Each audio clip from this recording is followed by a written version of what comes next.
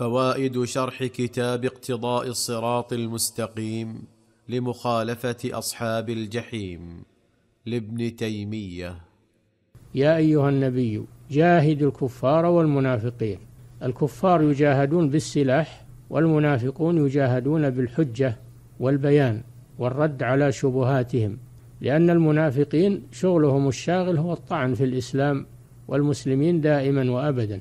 فيجب على النبي وعلى أتباع النبي عليه الصلاة والسلام أن يكونوا بالمرصاد لهؤلاء المنافقين يردون شبهاتهم ويدمغون حججهم ويبطلون كيدهم. وكم في القرآن من الآيات التي ترد على المنافقين وتفضح المنافقين وتبين كيدهم ومكرهم وخداعهم للمسلمين؟